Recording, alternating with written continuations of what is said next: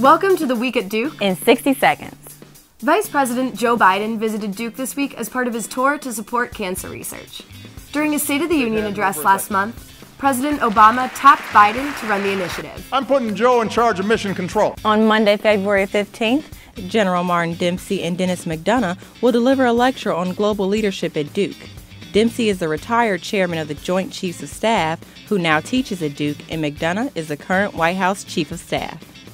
Duke historian William Chafe has released an updated edition of his book, Hillary and Bill The Clintons and the Politics of the Personal. The book explores the intersection between the Clintons' marriage and political careers. Finally, data from a 20 year study of twins looks at how genetic and environmental factors shape children and could help Duke researchers answer questions about mental health and social development. For more Duke news every day, visit Duke Today.